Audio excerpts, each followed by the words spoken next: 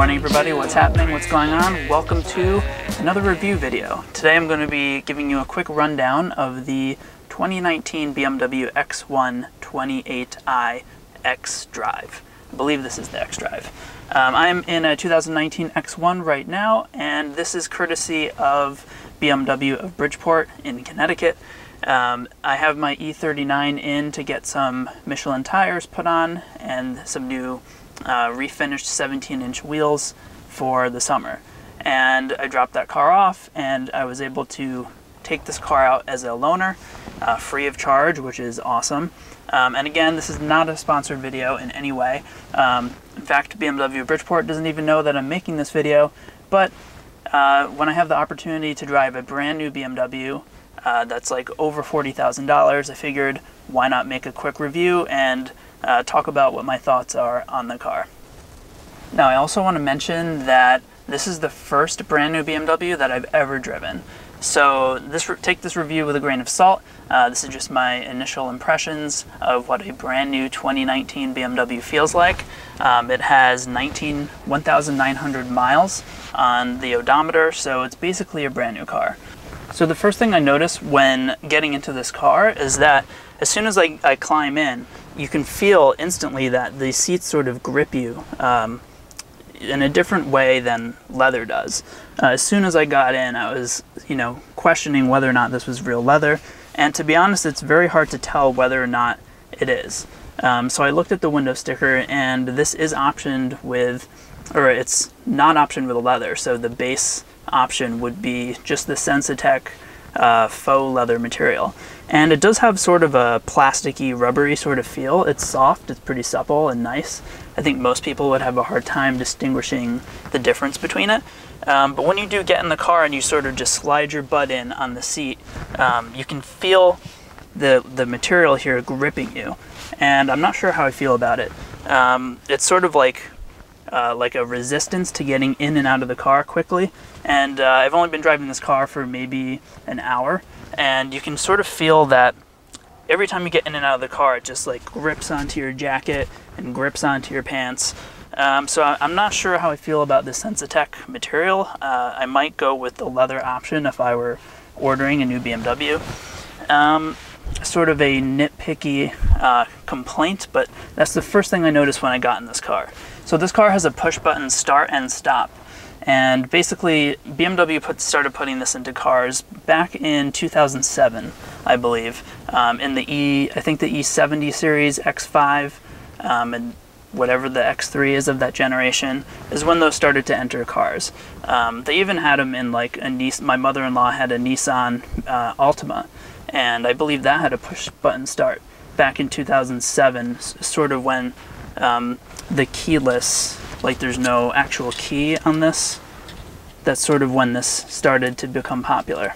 Now, speaking of the key, the key fob here is, is quite interesting. I know they went with this, uh, it's not really a trapezoid. I think a, a, trapezoid sort of has equal, you know, two equal sides. Uh, this is more of like a rhombus or something. Uh, but they went with this like asymmetric key, which is kind of cool because um, I guess asymmetry is beautiful, right? um, in some respects. But um, yeah, so basically all you need to do is have this uh, access key in your pocket, climb in the car, put your foot on the brake pedal, and press the start button. Now the materials in here are not bad. Um, I'd say they're a little bit more premium than say, you know, my parents have a 2017 Subaru Forester, and the materials are pretty nice. I'd say it's like on par with, you know, some of the plastics in modern cars. Uh, the gauge cluster looks awesome. And in the center here we have a new um, infotainment system. And I believe for 2019 they finally switched over to a touchscreen. So let's check it out and see if it is. Ah, very nice. BMW, you have upped your game. I approve of this decision to go with the touchscreen. Now prior to this, I believe the 2018, 2017, and 2016 models of the X1 um, did not have a touchscreen. Alright, so I'll climb out of the car and sort of walk around and just show you guys what this looks like inside and out. Also shout out BMW Bridgeport for the free water and snacks.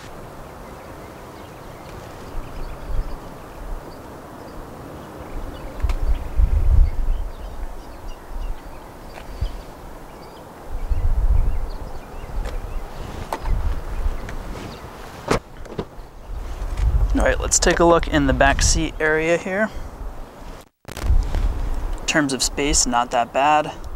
Now I'm about five foot 11, and as you can see here, um, I have several inches between uh, my my head, the top of my head, and the the, the roof line. Uh, and the seating is pretty low and comfortable, and yeah, it's it's a lot better than I expected. Honestly, um, before I climbed back here, I thought that it might be a little bit tighter than it is, but for a compact SUV, I think um, there's quite a bit of room back here.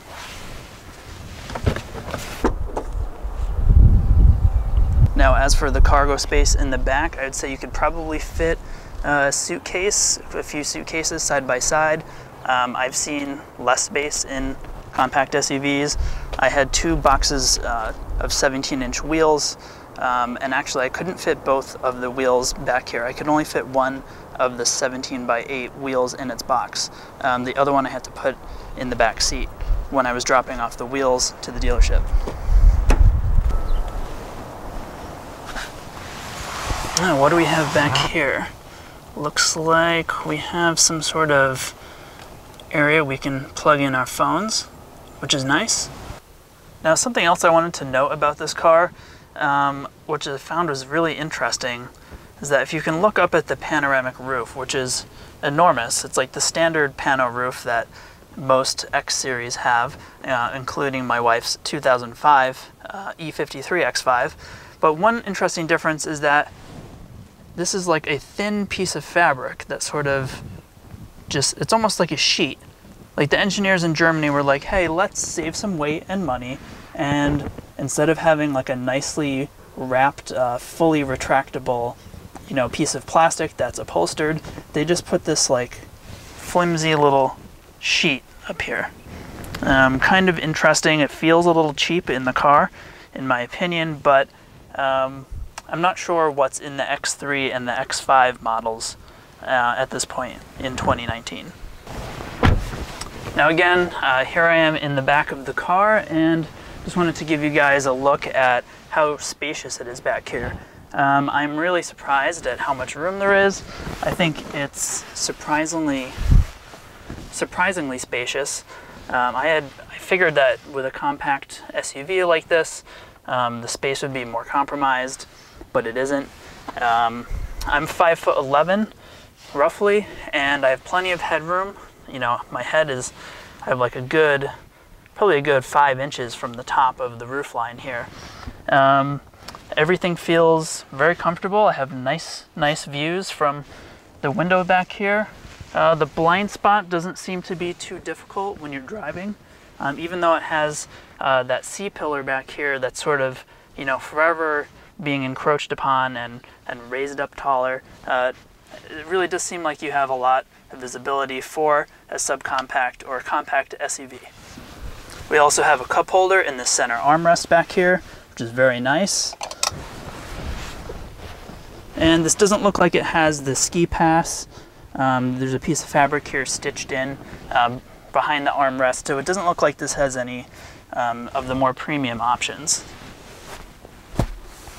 If you didn't know this, BMW X1s travel in packs. Another one just pulled in here. So I have to ask you, what do you think of your X1? I love it. Um, this is the first time I had an SUV, uh, but I always drove uh, the BMWs, and I'm really enjoying it. Very good car. And this is a 2018 here? Yes. Wow, it looks great. Thank you. Thank you, I appreciate it. What's your name? Rich. Rich, I'm Sharon. One of the other cool features I love about this car that our E53 doesn't have is the ability to open the trunk here just with the key.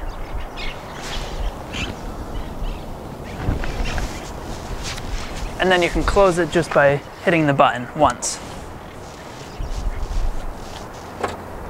So arguably the most important thing is how does this car actually drive? Just how good is it? Um, well, let's go for a little drive and tell you guys what I think. Now, my initial impression of this car when I first got in was that it felt very, very fuel economy, fuel fuel economic. It felt like it was sipping fuel uh, and like really barely doing anything. Um, It has an 8-speed transmission. It shifts really fast and efficiently between gears. And I think that this car really shows how efficient um, the newer cars have become because of all the strict regulations from the government and EPA and requirements for fuel economy and mileage. The one downside I noticed immediately was how sluggish it feels when it's in eco mode. And this car has like eco pro mode, similar to like the i3 um, and the electric cars. There's like an eco mode and then there's a sport mode. Now in eco mode, it's pretty conservative and it's really like it really feels underpowered and it shifts very quickly between gears to make sure that you are sipping fuel um, and not being inefficient. And then with the touch of a button, you put it into sport mode and um, it immediately becomes more powerful. Um, you can feel the pickup a lot better.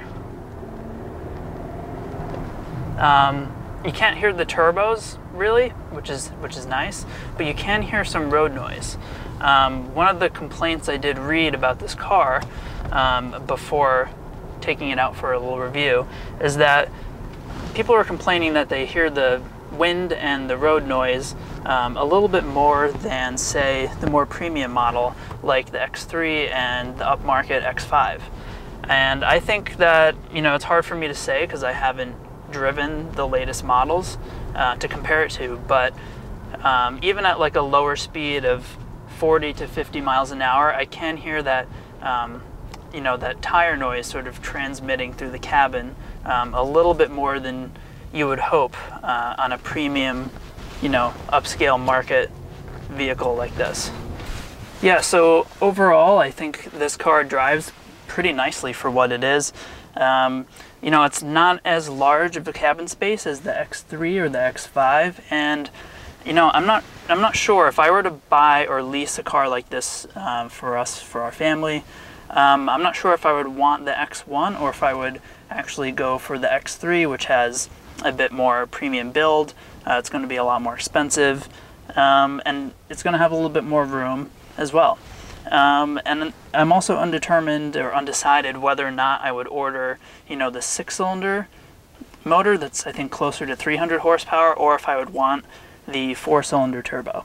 Now the the lease pricing on this car is pretty incredible. I have to say, um, there's a sticker right here that says 339 a month, and I think it's actually you can get it down to somewhere like 309 or 319 a month to lease this car. And a close friend of mine is leasing um, an Escape, like a, a, brand new loaded with leather uh, Escape, and his payment is something like 390 or 392 a month. Um, and I think I'd much rather have the BMW. It has four year, um, four year, 50,000 mile warranty, which is, and I think maintenance is included in that, which is pretty great. And um, yeah, I, I think, you know, going with the BMW for that kind of price is is pretty reasonable um, for a monthly payment. Now, when you get up until like the X3 and the X5, the payments go into like the 449 a month up to 559 a month, and they keep climbing and escalating from there, depending on what options you want. Um, yeah, so overall, I'd say this car is quite nice. It's nicer than what I'm used to. My uh, old E39 from 2002 is now 17 years old, so I think a lot of you guys can relate. Um, you're following me because you may have seen some of my old DIY tutorials and repair videos on those models. And yeah, this is generally, um, yeah, it's a lot newer than anything that I've shown on this channel before, but hopefully, uh, you know, in the coming months, I'll be able to rent some more cars uh, and figure out a way to get newer models to review and drive and show on this channel. As always, uh, thank you guys for watching. I really appreciate it. Uh, let me know what you what you think in the comments below. Um, also, updates coming on the car detailing business. Uh, website is almost ready, and um, I'll be talking more about that in the near future.